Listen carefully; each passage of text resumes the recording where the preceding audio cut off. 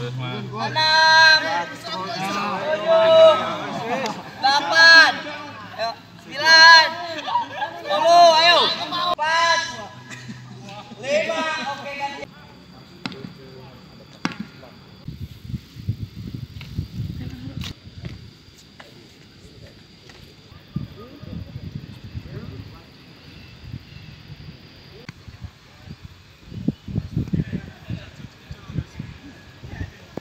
beberapa pemain yang mungkin eh, sudah di- tidak bisa hadir lagi lah. Makassar ada si Tahir yang pasti ya masih kartu merah. Kemudian ada si siapa Pandri masih dalam kondisi perawatan terus ditambah lagi sama Fauzan.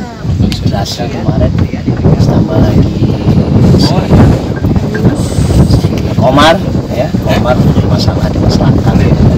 Dan tadi ada kita Kapan bos? untuk sesi latihan kita kita ikutkan Karena kalau kita ikut nanti kita takut bertambah parah Oh, M Yunus masih dilihat lagi ya sampai M Yunus tangannya. ya itu. Yunus bermasalah juga dengan tangannya. Nanti kebetulan mau di apa namanya di rongsen ya. Kita lihat dulu seperti apa nanti ya. Tapi yang pasti ya kita siapkan dulu pemain-pemain yang siap untuk ikut training. Sendiri? Kita nggak punya program untuk uji coba. Ya kita punya 25 pemain. Sekarang ada lima yang cedera uji coba lagi nanti bermasalah kita belum uji coba ya. Artinya kita tetap eh, apa namanya uh, mentrainingkan mereka setiap pagi ya.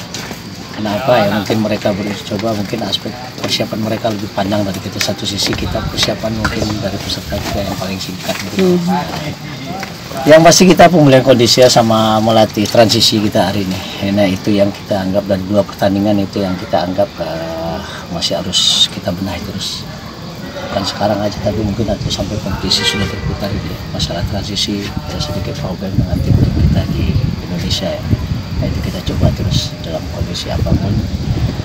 eh, harus kita coba terus memberikan eh, bagaimana transisi yang efektif ya dari menyerang ke bertahan bertahan ke menyerang nah, itu problem kadang-kadang